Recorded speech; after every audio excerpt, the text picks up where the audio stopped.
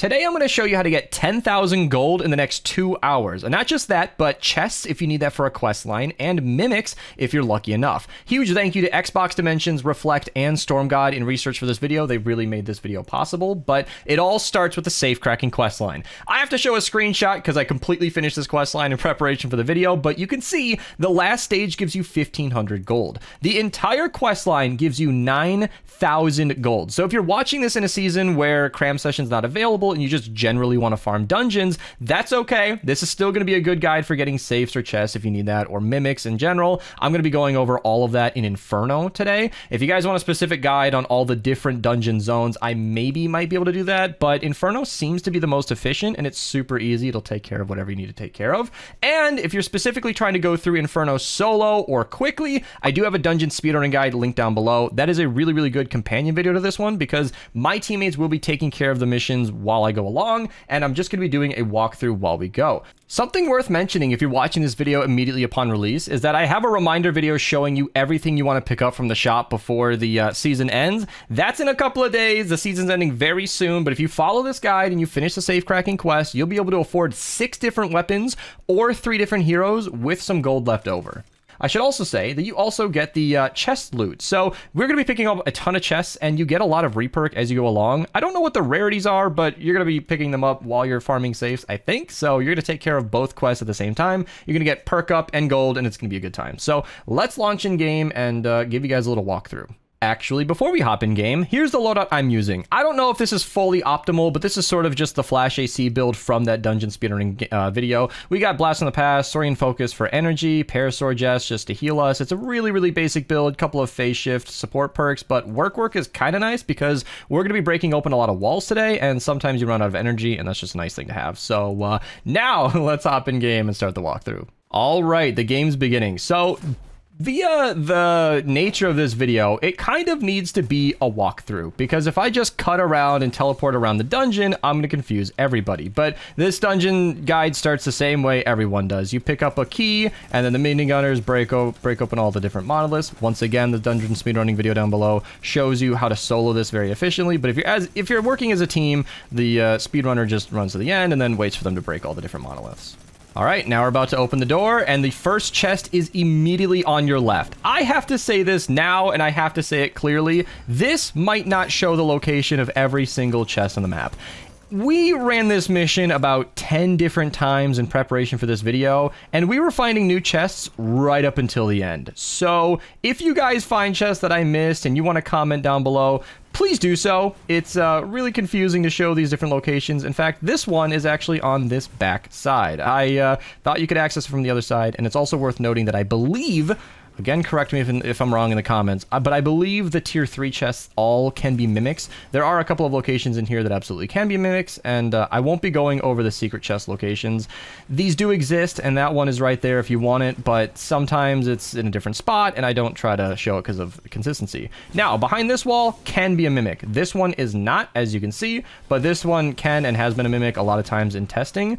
I, again, it's just a working theory. I, I think the, uh, the, the the tier threes are the ones that can be mimics. Comment down below if they have set locations. In all of my testing, I did not see a single chest change rarities. So I'm pretty sure that the ones that are what they are stay what they are. So there's another tier three that may or may not be a mimic. The one that I showed earlier absolutely can be a mimic, and I will say right over here.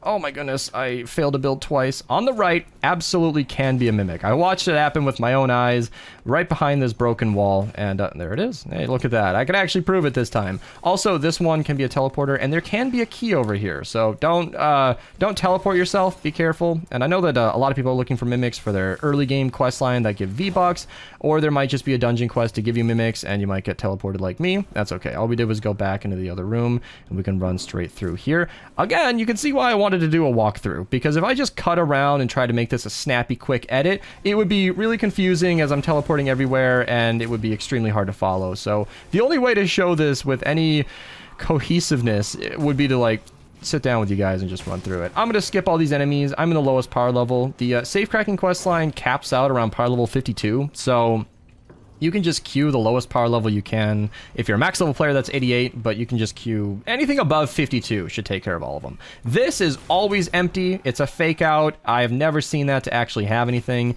And this is the first divergence. If you are specifically trying to speedrun safes, just run right through here. We'll continue on there in a little bit. But if you really want to get as many chests as possible, perhaps you're doing the other side of that quest line, there is one right over here. It's tier 5 every single time, so you can just go ahead and pick that up. I don't know why I'm picking these up. I think you get a little bit of extra gold, but if you don't have a quest to complete, I'm not really sure you need it, so I think that's the last chest over here. Uh, once again, continuing on with that room that I mentioned, skipping through here, we uh, have this area right here, where I don't think there's anything, but Iwari mentioned that there were some chests around here that I missed. I'm going to go ask her about it. All right, just in the same room that I left off here, but before we catch up with her, there is one tier 4 chest down here as well. Uh, always tier 4, right there in that spot.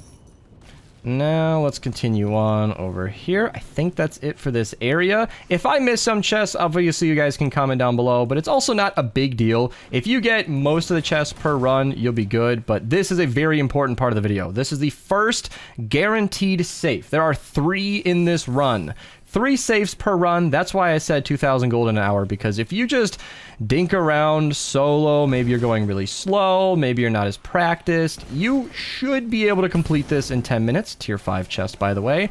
And if you take you know, if you, if you get all three safes per run, you will complete one level of safe cracking per run. And if it takes 10 minutes, that's 100 minutes. That's loosely where I'm saying in the next two hours. I think you guys should be able to do it. But as you're running through this area, this broken wall can be a tier 4 chest right here. And I'm going to follow up with a Walry, I think, because I thought she found a chest, I think right down... Oh, I got teleported. So I'm just back up at the top here. That's where the safe was, just to orient you guys. I know dungeons can be really, really confusing. In fact, I am going to see if I can take a shortcut.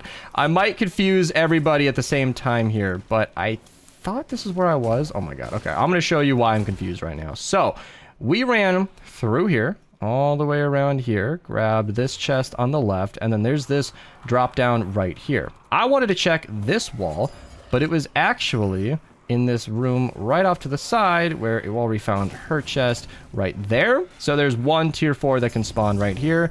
And uh, I think getting confused in the video just shows how crazy these dungeons can be. They're, they're very, very wild. In fact, this is where a key can spawn, and right up here is also another spot where the key can spawn. And when we're speedrunning, this is where we run straight through.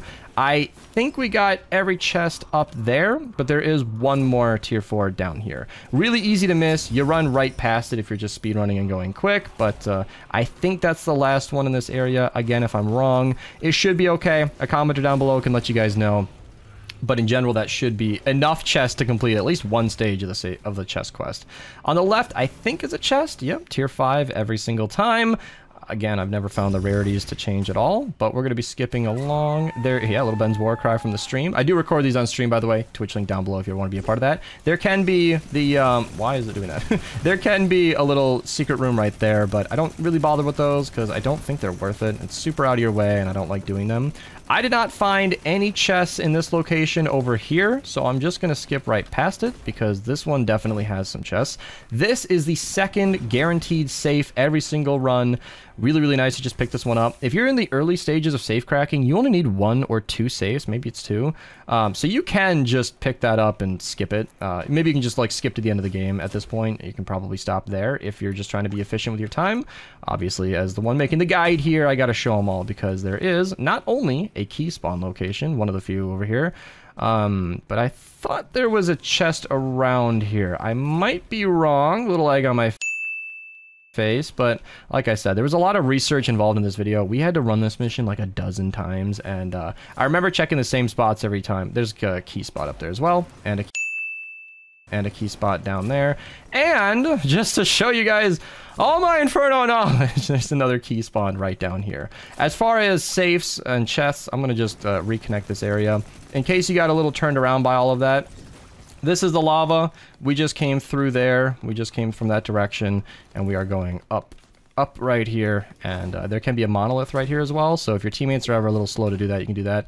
You can go ahead and break that monolith, but there is a tier 6 chest every single time. Bunch of weapons and gold. Obviously, the weapons go away at the end of the thing, but then we're done. Just kidding!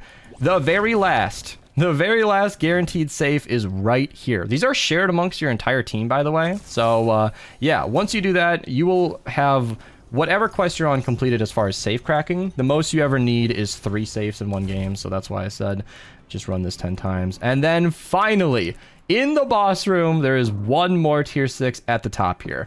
I cannot wait to read the comments on this video and see how many chests I missed. But honestly, as I said, in my defense, you should have gotten all the chests you need. And if you got lucky, as I said, a couple of those might have been mimics. And if you're looking to get those early, early game V-Bucks mythic, I'm sorry, V-Bucks mimic um, quests completed. I think it's like 30 V-Bucks for finding mimics. There will be a couple of guaranteed ones here, and uh, yeah. As I'm posting this video, there are a couple of days left in the season, but I'm going to flashbang you guys in case you're in a dark room with the timeline. This is linked in the description of every single video because it's super useful. It showcases when stuff comes back around, and I can show you here that I am recording this right at the end of this season. We're going to be over in a couple of days, but Dungeons is actually available for... Uh, couple of different seasons. So you can see in this uh, April 5th to June 4th timeline, Dungeons is available during the yellow and during the purple. So for 40% of the year, this guide is really good. And I think Cram Session is only this season. Uh, it might come out in a different season, but I don't believe so. It does in, in this area, but it's not there. So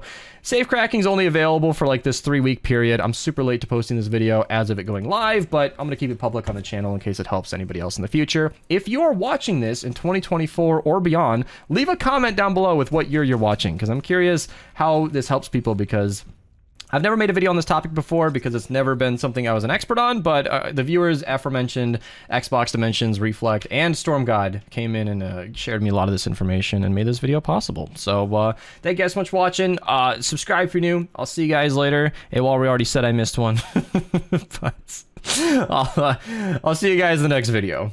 And